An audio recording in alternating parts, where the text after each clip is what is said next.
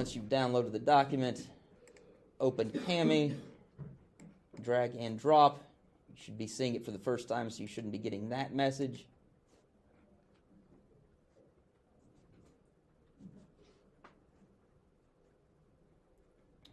That's a little clunky the way that inserting the images went. Um, so just know that you'll have to jump down, moving on to that next page.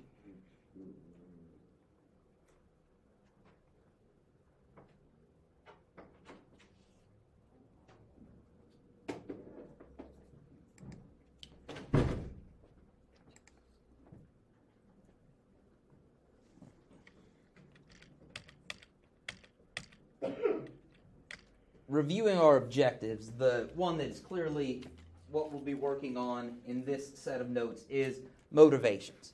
Right? And they could be about support or opposition to globalization. In this case, it's really going to be about support for globalization.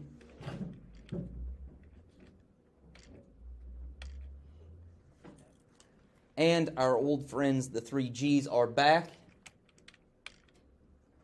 God, gold, and glory.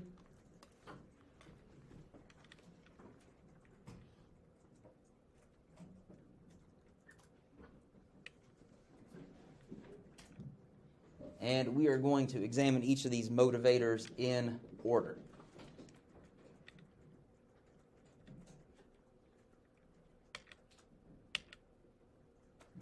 Of course, when we talk about God as a motivator, motivator, we're talking about religion. When we looked at this previously, it was done by the Spanish and Portuguese monarchies in cooperation with the church. And this is different. This is done by missionary societies. And the nature of Christianity being spread is going to be different. This is going to be Protestant Christianity, as symbolized by this cover of a book celebrating 100 years of the Baptist Missionary Society, right, highlighting their work done in tropical parts of the world, in Asia, and that puts it in contrast to that early, uh, earlier religious spread because previously it was Catholicism. Right? Spain and Portugal, Catholic monarchies, closely tied to the Catholic Church, and so that was the Christianity they spread.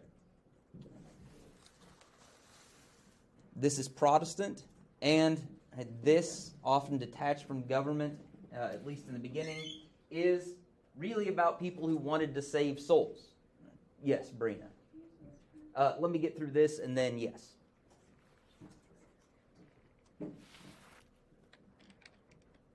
This doesn't mean that they are angels themselves or saints. Right? A lot of this we will also see carries some of the kind of racist um, and condescending views towards native peoples. Uh, but they were, in many cases, uh, probably most cases, genuinely motivated to save souls. And that's illustrated by this map of the Protestant missionary societies. Um, this map of the world is color coded. Yellow shaded areas are Protestant, red shaded areas are Catholic, green uh, would be Muslim, and then we have these great dark gray shaded areas that are referred to as heathen. And they note uh, their estimate is 834 million heathens. And their idea here is if they don't go out and give them the word of Christianity and get them saved, then those heathens uh, will go to hell. So they are pretty sincerely motivated. And this will contribute to globalization in several different ways most obviously, will simply spread religion. It is why today, if you want to find some of the most vigorously Christian groups of people, you can find them in Africa and places like South Korea, where missionaries went and spread the word, and the people um, really accepted it enthusiastically.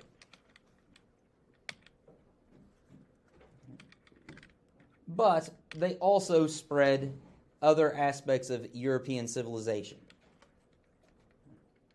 Importantly, languages. I do want to be clear this is not entirely a one way transfer of language. The missionaries did often go to a lot of work to learn the indigenous languages, as demonstrated by this Bible translated into an indigenous African language. But the primary spread of languages in terms of the language that the missionaries taught to indigenous people.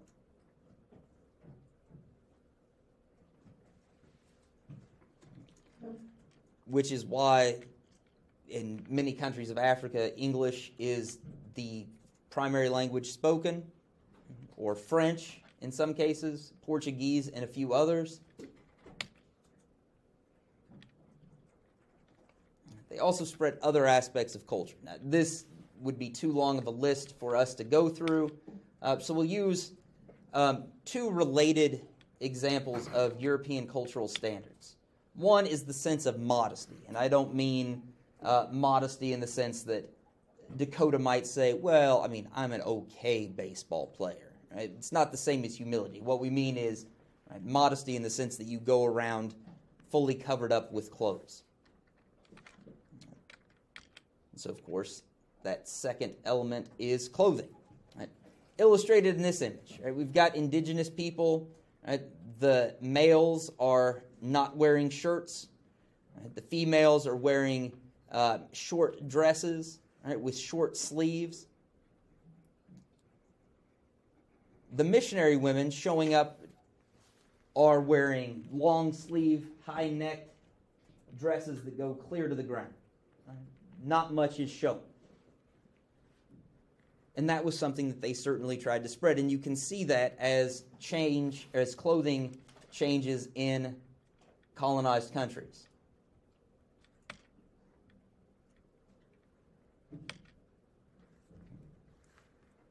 And the third way um, is what cynical folks will like to point out, and they're not wrong in pointing this out.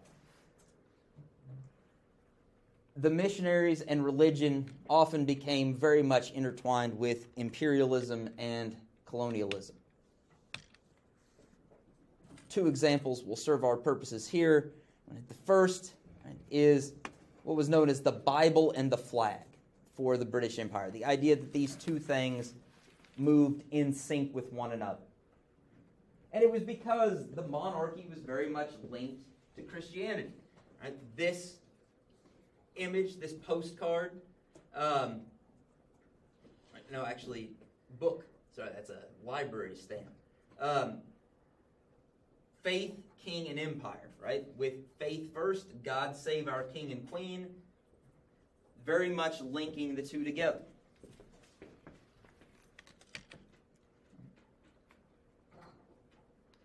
Another example comes from the United States and Hawaii. The missionaries become the owners of sugar plantations, not, not necessarily in a single generation. But what might have happened is that uh, Brodie goes to Hawaii as a missionary. And then Brody's son, it's like, well, dad seems to have this church thing pretty much running itself. Uh, so I'm going to go into business. Looks like a good place to grow sugar. I'm going to buy some land. Um, and Brodie's son is going to become quite wealthy. And as he gets wealthier, he's going to want a little more influence over what happens in Hawaii. Um, but he's a foreigner in Hawaii. Hawaii is its own independent country. It has its own government. It has a queen. Brodie doesn't like this, or Brody's son doesn't like this at least. And so Brody's son and other sugar growers descended from missionaries pushed for the United States to annex Hawaii. Now, you're going to learn more about this. You should learn more about this in your U.S. history class next year. But in this case, annexation means um, taking a piece of foreign territory and adding it to your own state. Right? You may have learned about this in middle school. uh, with the annexation of Texas. And this story is symbolized by this political cartoon of a shotgun wedding between Uncle Sam and Hawaii. The preacher represents the missionaries, and the man holding the shotgun represents the sugar plant.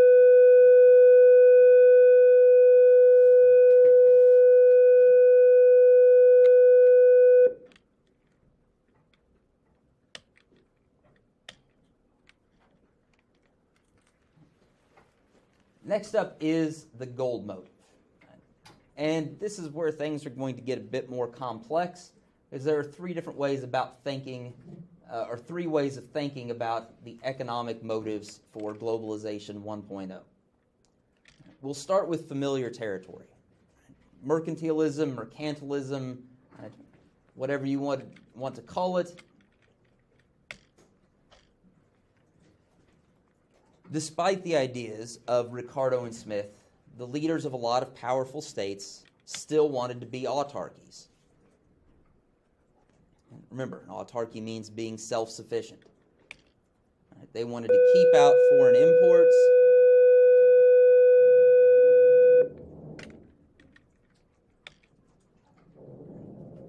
They also wanted to sell as much as possible to other states.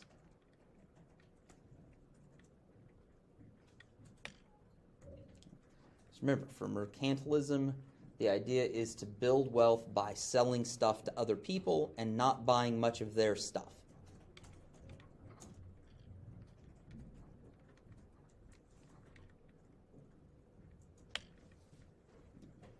Empires were important for this. One, if you, if you conquered a new territory, instead of having to buy raw materials from somebody else, you could just get them from your own colony. Right? Basically, you could get it in house.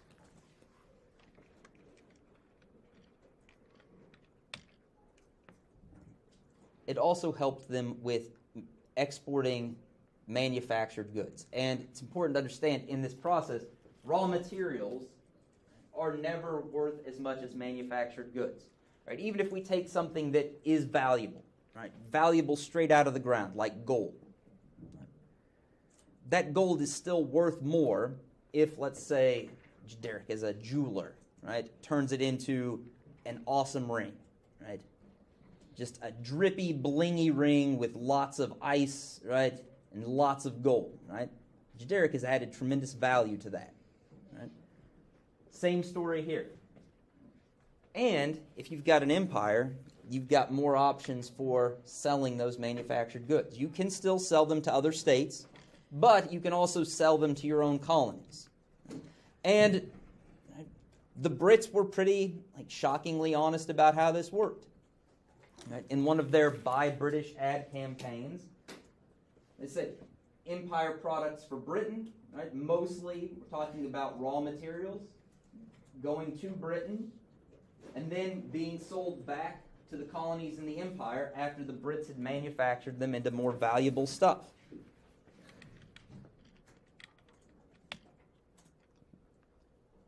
We also see it illustrated in these political cartoons. So, first, just another example of you know, the patriotic be British and buy British.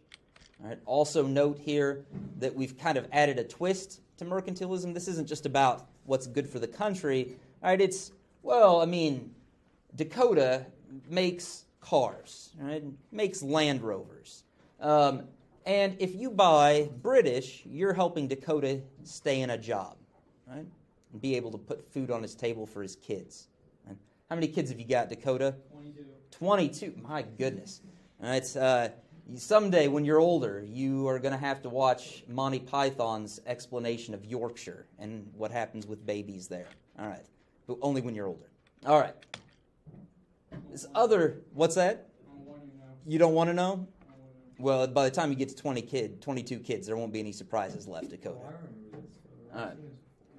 Uh, yeah, so this what I mean is the example. The colonies provide the raw materials, the food, the gold and the silver, and the queen, representing the mother country, and is the one who gets to enjoy uh, all the profits uh, and all the bounty of the colonies. All right. Now, don't be too quick to judge or judge the Brits too harshly. Right? Uh, America does this too. Right? And I could keep putting other presidents up here with Buy American initiatives. Um, they're also not that new. Right? We've got this lovely political cartoon that's, oh, probably about 130 years old.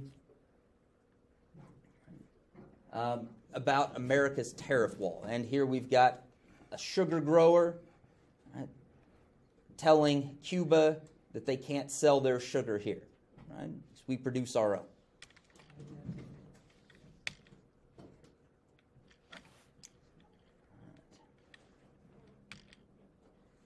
Now on to some new ground. Right? One of the other explanations for how economics motivated globalization is Marxism. And Marx's claims about the inherent flaws or contradictions in capitalism. Marxism, of course, gets its name from Karl Marx.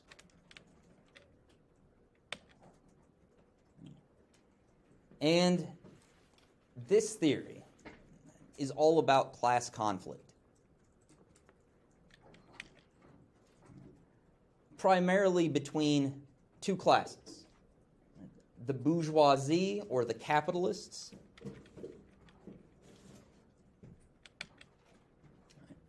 And the capitalists are the people who own what Marx calls the means of production. Those are things like the factory where Dakota works, right? or the mine that produces the iron ore that becomes uh, the crankshaft in the engine that Dakota assembles.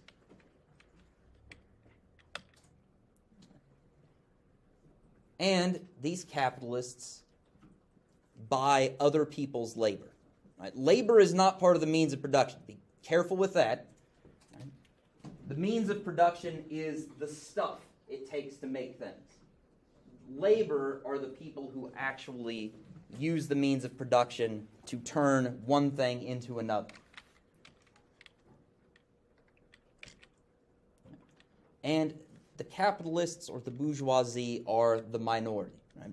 Uh, they're a very small part. Right? They would be the 1% that you often hear American politicians on the left talking about. The other main class is the proletariat. Right? They are the working class. And what Marx tells us is all they've got is labor. They don't have anything else. In many cases, they don't own their own tools. And because all they have is their labor, right, they have to sell labor cheaply. Right? The capitalists get to buy it cheaply because labor has to sell it cheaply.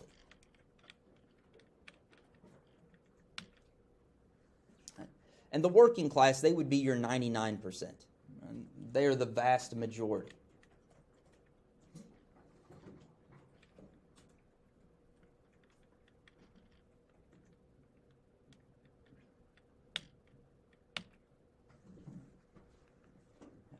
This class conflict, uh, the class conflict, the class relations, and the mode of production, which is capitalism, is what Marx calls the base of society. Uh, it's the foundation on which everything else is built, everything else grows out of that base. And that everything else is what Marx calls the superstructure. Now, those of you that have ever been interested in the Navy, right, or maybe model ships, right, think of an aircraft carrier. Right? You've got the big flat top where the planes take off, and then that tower that sticks up out of the side is called the superstructure. Right? Same thing. Right? That image helps you for Marxism. Use it. If not, forget I said it. That superstructure includes things like politics and government. Right? All of it comes out of class conflict and you should know that the government it has the back of the capitalists. As illustrated by incidents like this in American history, where workers uh, rose up and usually the factory owners um, could call in the militia, what today would be the National Guard, or in some cases, actually federal U.S. Army troops uh, to come in and break up the strikes, sometimes shoot the strikers. Culture and art It also reinforce the dominance of the capitalists by showing us that the bourgeoisie really are the ones with the best values and we should try to be like them and respect them. Don't ask me why their children look like creepy miniature adults. I don't know. Um, but look at them. I mean, they're fine, upstanding citizens. They've brought us all of this great stuff the ships, the buildings, right? All of it. Right? We should want to be like them and respect them. Education is also about this. Right? Um, can you guys take a business class while you're here at Central? Yeah. Okay, so Claire, are you taking one right now? All right. Uh, can you take a class in how to start a revolution? Yeah. N- no, I mean this one can kind of be that, I suppose, but that's not its point. Uh, can you take a class on how to or- organize labor so that maybe you can lead the next union vote at an Amazon warehouse? You can't. My gosh, they've got us too, right? And they do. I mean, that's what Marx would say. Right? And I'm not advocating for a class on revolution or uh, like rabble rousing 101, but Marx would say, look, your education system will teach Claire how to be, you know, a part of the capitalist system. It won't teach her to fight. And also famously for Marx, if you guys have ever heard a Marx quote, this is probably it. Right? Die Religion ist das Opium des Volkes, or in English, uh, which is in your notes, religion is the opiate of the people. Uh, sometimes translators like to give it a dramatic flourish and call say religion is the opium of the or the opiate of the masses. And the idea there was that um, religion helped support the capitalist system, right? um, especially if we're talking about uh, maybe Catholicism. Right? And Marx is a German. Uh, there were a lot more Catholics in Germany than in England, where he did most of his writing. Uh, and remember, Catholicism told people, hey, life on earth is supposed to be rough. That's Adam and Eve's fault. And they ruined it for the rest of us, and now we have to suffer in this life. Uh, and if we do it right, we get to go to heaven when it's over. So, Dakota, yeah, your hours in that factory are long, the working conditions aren't great, and the pay stinks, but right, that's your lot in life. Right? Suck it up, son. Deal with it, and when you die, you get to go to heaven. Um, and so Dakota's like, okay, that's my lot in life. I'll just suffer through, and in the end, it will all be better.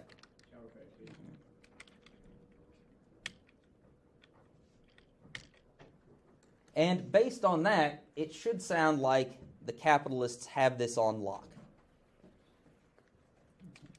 But they don't. Because capitalists might sound like a tight knit little club of the one percenters, but they have to compete with each other.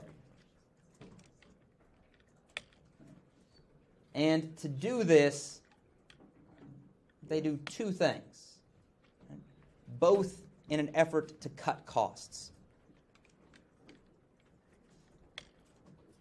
One, as much as possible, they replace people with machines. Right?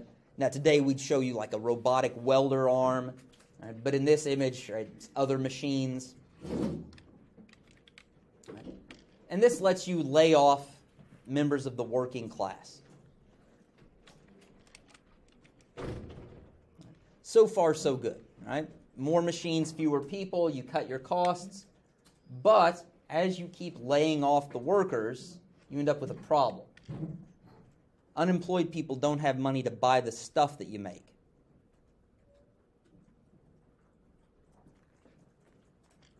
So, what do you do? Well, you cut more costs. Right? You automate even more. You put more people out of work. But eventually, you end up in what's called a vicious circle. Right? Or, if you're wanting to be fancy about it, a negative feedback loop.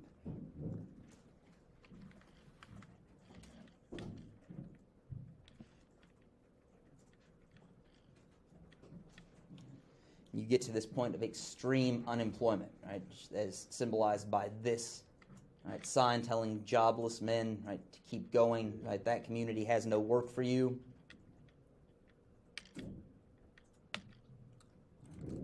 And eventually, right, this vicious circle spirals out of control and reaches a critical point, and that's when we get the communist revolution.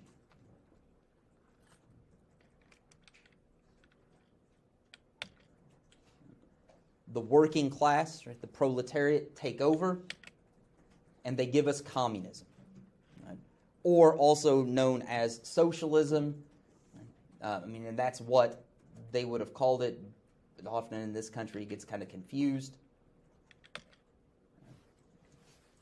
And for our purposes, we're just going to sum up communism as this idea right? that everybody will work according to their ability, and everybody will take according to what they need.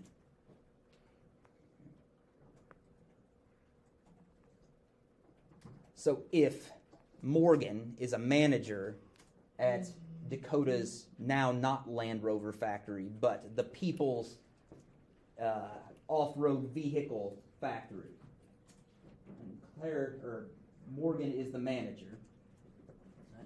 Uh, Morgan, how many kids do you have, Morgan? Four. Four, right? Guess what? Right? You don't need as much as Dakota. So even though you're the manager, right, you've got responsibility for making sure that the factory's running smoothly, everything's going well, you're turning out a quality product, you're not going to get as much stuff as Dakota. Right? Because Dakota's got 22 kids, and let's face it, right? He needs it more than you do. Right? That's communism. You can't say, well, Dakota, you just should have stopped making babies. But that's not how this works. Right? He needs it, he gets it. Uh, you don't, and so you don't get as much.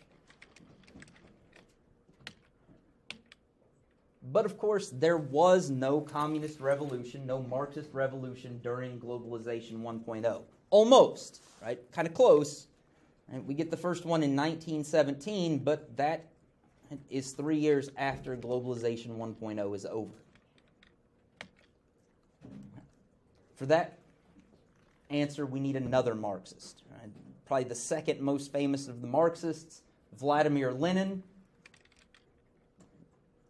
Uh, that guy.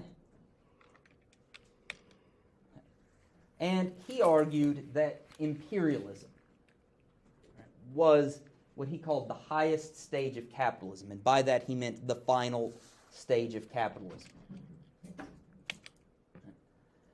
He argued that as long as capitalist states could keep taking over new territories to colonize, they could continue to get cheap raw materials, and they could continue to create new markets where they could sell stuff. Right? Even as they're exploiting people and putting them out of work, right, they're still going to find more people they can sell stuff to.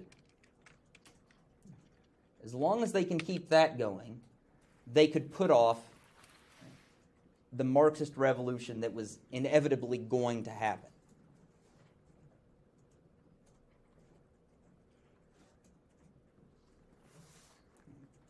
Marx and Lenin believed that the revolution really was inevitable. It was just a matter of time. It would either happen sooner or later, but it was going to have to happen someday.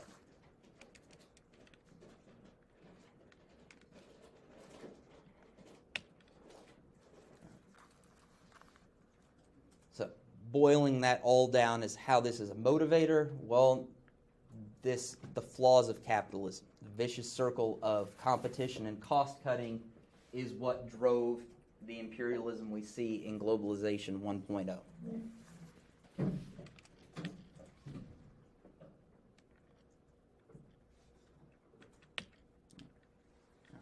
Before we head off to lunch, I'll be able to wrap up the economic motivations and circling back to Smith and Ricardo and their arguments in favor of free trade. Um, there was actually some of it in this time period. Uh, in fact, quite a lot. And it came from Britain and the United States, even though there were still obviously um, powerful, powerful uh, mercantilist forces in both countries. Both of them also worked in many ways to support free trade. One of the ways they tried to do this was by the open door policy in China, which again, you'll learn more about in U.S. history, but the idea here was that we were going to keep the door to China open for everybody to trade with that country. So you've got Uncle Sam, you've got the British Bulldog, and then, of course, the racism just can never stay away for too long. Uh, the little dog is Japan. Right? It does not get to be a big dog. Right? But that was all about free trade. And again, the Royal Navy went to a lot of trouble to keep the seas open for everybody. It didn't just keep the seas safe for British shipping, it kept the seas safe for American shipping, French shipping, kind of like the U.S. Navy does today.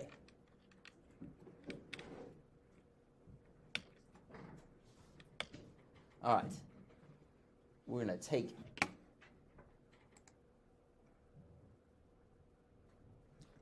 and returning for our third G, glory. And this is all about the grandeur, right, of empire building and possessing an empire of vast colonies. Now, it seems that it's easy to dismiss this as just, you know, really not a significant part of the story of what motivated globalization 1.0. Um, but the ability to to brag about what was in your empire, right, and the prestige of having an empire was really important, uh, not just to the leaders of countries, right? uh, the kings or queens or emperors or kaisers um, who might have been the face of a nation, right? but also the common people, um, the average citizen, were um, often quite proud of the empires their countries possessed. And so we really shouldn't discount that. Um, one of the ob- most obvious examples of this, of course, is um, the United Kingdom, which was able to boast uh, the biggest empire the world had ever seen and has ever seen, and to be able to claim that it was so big that the sun never set on it. Um, and as another example, just to show, in some ways, this could be seen as the pettiness of the glory motive. Right? But petty doesn't make it less important. I think we can all recall moments in our lives where somebody's petty actions uh, had quite a significant effect on us or someone we know. In this case, the pettiness is on the part of Germany's Kaiser, um, which is like their king, their emperor. It's derived from the Roman Caesar uh, for the name for the title for an emperor, and this is Kaiser Wilhelm II, right, in reference to the border of German East Africa. The border did a weird zigzag around Mount Kilimanjaro, allotting Africa's tallest peak to the Kaiser. His grandmother, Queen Victoria of the United Kingdom, had the Hindu Kush and the Himalayas, and any other number of big mountains. The Kaiser had none and wanted a big mountain of his own. So, again, it seems petty, but it had a consequential effect on uh, colonization and the carving up of Africa. And so we should think of empire as an important status symbol um, for countries during the era of globalization 1.0. Uh, we've got some more symbols to indicate this that are also included in your notes document. Canada postage stamp. The areas in red are the British Empire, and this is Christmas 1898. We hold a vaster empire than has been, and so there's never been a bigger empire. And you can see Canada's proud to be a part of it. They've put themselves at the center in that portrayal.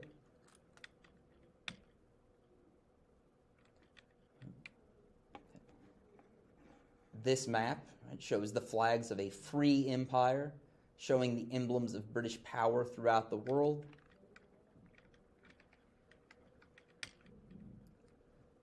And of course, the wreath with all of the crests of the British possessions, and an empire on which the sun never sets. And not to leave out America, uh, it shows kind of the growing uh, quite figurative and literal, uh, growing of the United States as an empire.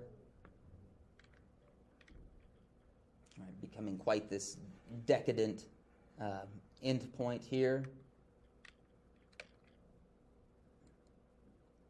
That previous image, we should back up to that. It may seem to be unflattering, and I think in many ways it is meant to be, but also in this time for someone to be um, so portly was a sign of wealth, right, and that you didn't, uh, that you could eat your fill and live a life of leisure. This plainly more flattering. Right? It shows America right, uh, as a young woman, Lady Liberty, right, and she's trying on a hat, right, and the hat is called World Power, and it is symbolized by um, a battleship, right, or a destroyer or a cruiser. And what would be a plume of feathers from a normal hat is, of course, coal smoke from the steam boilers for that ship. And in that smoke, we can see the word expansion.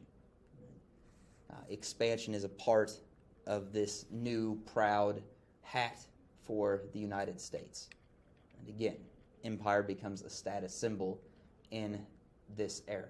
Notice uh, the caption Columbia, which is the name for another name for Lady Liberty, uh, Columbia's Easter bonnet, Columbia's Easter hat. All right, that concludes our notes on the motivators of Globalization 1.0. Look forward to seeing you in class. Please be sure that you upload your completed notes to the assignment.